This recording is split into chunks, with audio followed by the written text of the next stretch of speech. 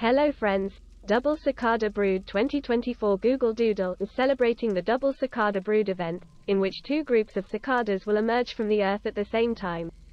Google celebrates the Double Cicada Brood 2024 Doodle in United States.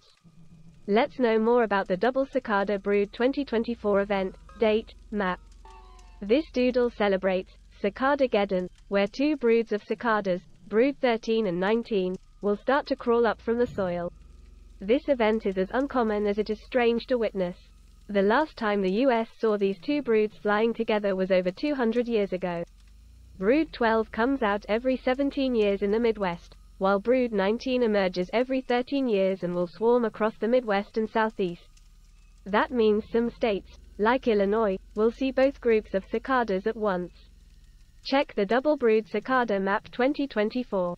The periodical cicada brood dates suggest co-emergences in 2024.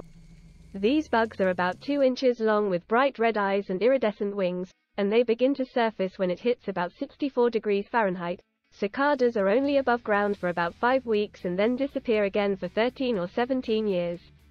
This underground period is why cicadas have some of the longest lifespans amongst insects, Periodical cicadas typically begin to emerge expected from April to early May in the more southern area of their range and from May to early June in their more northern locations.